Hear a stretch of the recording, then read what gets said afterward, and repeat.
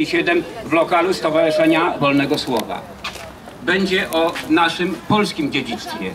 To jest dwudziestolecie premiery filmu pod tytułem Ściana pani Majki Dłużewskiej o niezrealizowanym pomniku Powstania Warszawskiego 1944.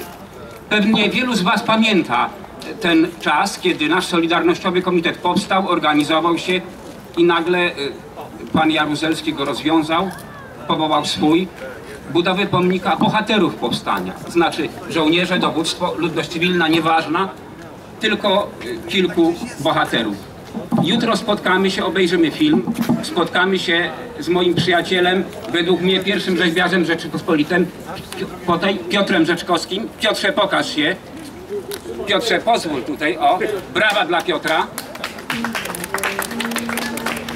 Będzie można z nim porozmawiać i jeszcze posłuchać może kilku wierszy poetki Ireny Kulińskiej-Rastawickiej, która studiowała na Tajnym Uniwersytecie z Gajcym, Baczyńskim, Stroińskim, Chryścieleskim. Zapraszam serdecznie. Jutro, godzina 18, Stowarzyszenie Wolnego Słowa Marszałkowska 7. Jak idziemy